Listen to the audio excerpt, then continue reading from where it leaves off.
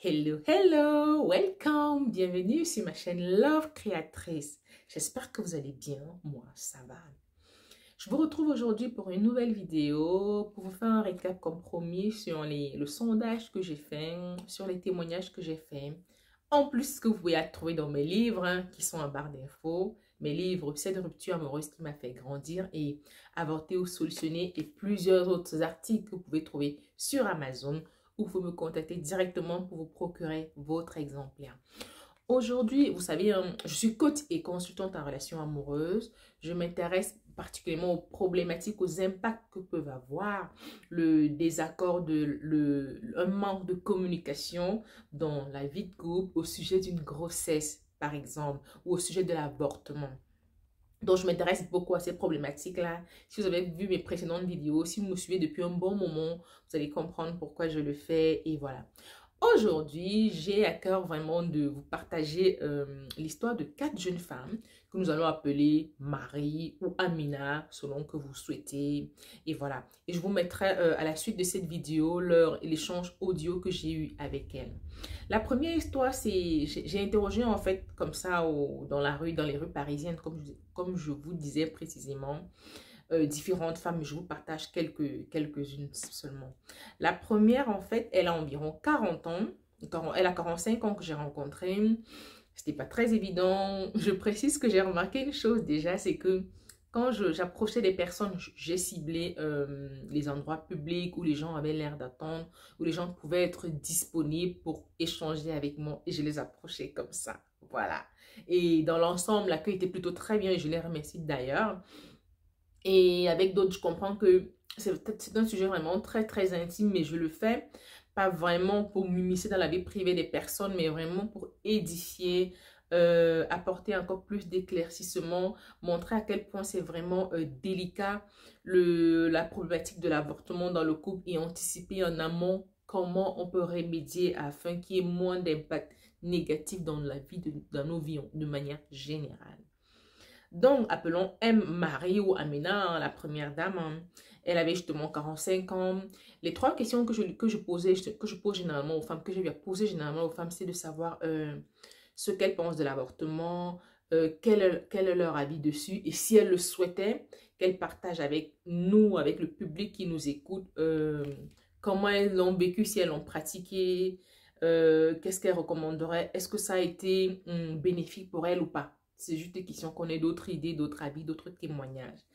Donc, euh, Marie, avec à, 45 ans, la première qu'elle a eu recours, comme plusieurs, hein, euh, elle était bien, bien sûr en couple, mais elle n'était pas encore totalement mariée avec, euh, elle, elle, était en couple, mais elle n'était pas mariée officiellement. Et sur le plan, c'est plus le regard des autres qui a fait qu'elle fasse recours à une IVG parce que c'était très tôt et comme l'entourage savait qu'il n'était pas encore marié, ça n'allait pas être bien vu. Comment elle a vécu la première fois l'avortement, l'avortement autant pour moi, elle a plutôt très très bien vécu d'après elle. Et voilà. Par la suite, par contre, elle dit quand elle était prête, quand ils sont mariés, quand elle était prête à avoir euh, un autre enfant, elle est un peu angoissée parce que tout de suite, elle n'a pas eu cette facilité à, être enceinte. Donc peut-être que c'est le stress qui agissait sur elle et elle n'avait pas cette facilité à être enceinte. Et elle regrettait un peu d'avoir euh, eu euh, à pratiquer l'IVG précédemment. Mais heureusement, elle a eu la chance, elle a eu deux magnifiques bébés pas à ensuite.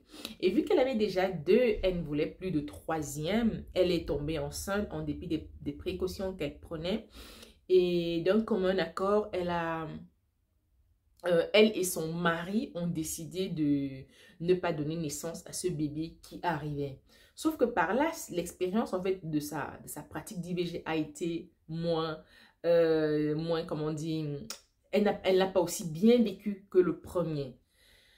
Je vous invite, je ne veux pas tellement rentrer dans les détails, mais je vous invite à, par exemple, faire vos propres recherches, euh, voir peut-être des spécialistes ou des femmes qui l'ont déjà fait, comment les pires cas qui arrivent? Parce que je sais qu'il y a parfois le bébé s'accroche, parfois, euh, ce que soit euh, une, IVG médicamenteuse, une IVG euh, euh, soit anesthésie générale, ou parfois s'accroche et il faut, il faut parfois refaire à d'autres à interventions chirurgicales. Et on sait tous et toutes toute intervention, toute intervention médicale chirurgicale n'est pas très facile à vivre, surtout quand c'est dans l'utérus de la femme, quand c'est dans l'intimité de la femme, c'est pas très facile à vivre. Donc, je fais cette vidéo en fait juste pour vous dire que d'une femme à l'autre, le vécu de l'avortement peut être différent, peut être vraiment passé comme une crème entre guillemets, hein, comme une crème entre guillemets, ou alors comme une grosse euh, pilule nivaquine, comme quelque chose de très très très difficile à vivre.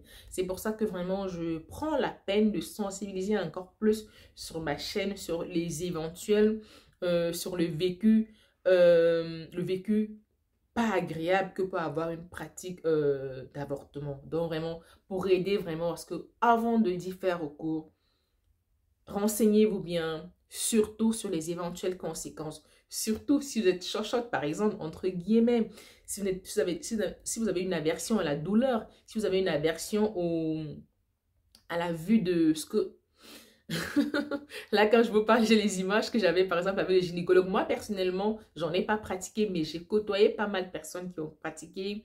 Et j'ai l'expérience vraiment des gynécologues, comment ils décrivent, en fait. Ok, je vais essayer de ne pas être très difficile, très brut. Mais par exemple, hein, c'est pas agréable, mais je pense que c'est important de le dire.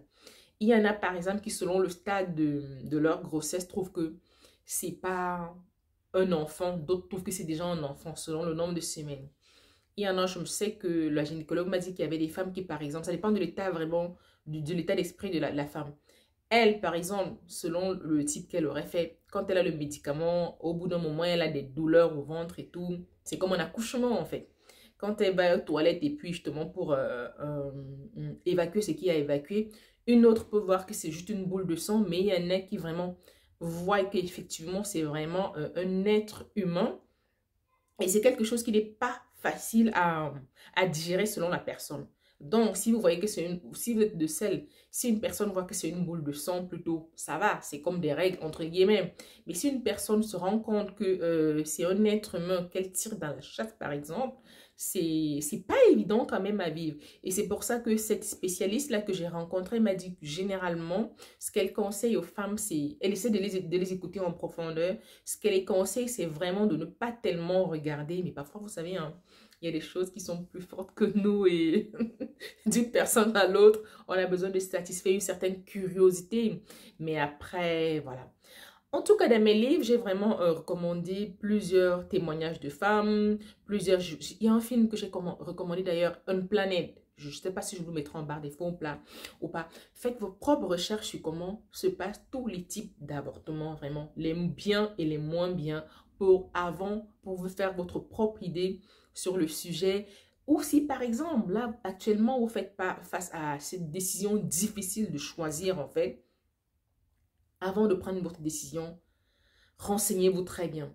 Moi, je connais beaucoup de femmes qui m'ont dit oui, avant qu'elles n'aient recours à ce type de méthode de contraception, entre guillemets, elles, auraient aimé qu'on les prévienne en amont sur toutes les, éventuels, euh, comment ça allait se passer concrètement, mais c'est pas une situation simple, très sincèrement. Même pour les spécialistes, c'est pas simple. Moi, vraiment, mon but, c'est vraiment de faire ce que je peux, apporter ma pierre à l'édifice. Je ne me dis pas experte en pratique d'avortement. Non, je suis là plutôt pour vous aider à choisir, à effectuer le meilleur choix pour vous.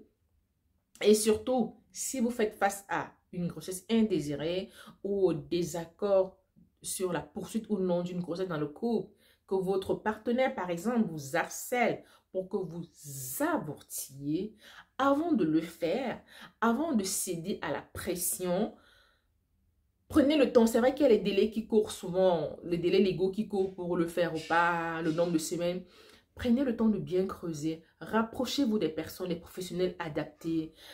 Renseignez-vous bien et prenez, faites votre choix en toute connaissance de cause. Voilà ce que je voulais vous dire aujourd'hui pour l'histoire de Marie ou Amina qui a eu à faire recours à, deux IVG. La première, elle, elle en cours, bien sûr. Hein. Elle a fait tout, tout, bien sûr en tout accord, toute intelligence avec son, son époux, son conjoint. Mais la première, elle a relativement bien vécu. Mais la deuxième, elle a vraiment très, très, très mal vécu. Même si elle a eu un suivi psychologique après, mais elle a très, très mal vécu. Et honnêtement, s'il fallait refaire, elle m'a dit qu'elle est mitigée vraiment, mais qu'elle ne recommanderait pas en fait et, et je, je, la rejoins sur le point où il faut vraiment sensibiliser nos jeunes générations ou même nos sœurs, nos copines vraiment avoir un moyen de contraception fiable. Alors, s'il n'est pas fiable, trouvez le spécialiste qui vous donnera, qui étudiera avec vous le, un moyen de contraception très fiable. Je voulais pas que cette vidéo soit longue, mais bon, je m'arrête là pour aujourd'hui et je vous partage dans une autre vidéo plus courte, en fait, le témoignage de trois autres jeunes dames. Bye bye